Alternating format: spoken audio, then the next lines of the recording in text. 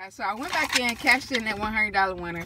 I brought the next ticket on this, which was 57. Right here is 58. So I just got the last two because it was two more left. And it was a $20 winner. So I was like, hey, let's see what's happening. So I got this ticket here, number six. And do you see the five times? So let's do a quick reveal. Five times what?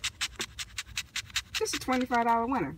Hey, you know what? It's better than nothing. And let me see if I got enough let me just do a quick scratch, of this one. It's no guarantee that it's going to be a winner, but it's worth trying. Um, 1927, 2, 5, 20, 16, 18, 7. I don't have much space on my phone, so I'm trying to do a quick, quick, quick, quick scratch. scratch. But I was surprised that it was a $20 winner right after that $100 winner.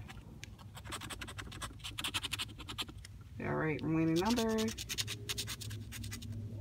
15. Did I say 15? Nope. 26, 17,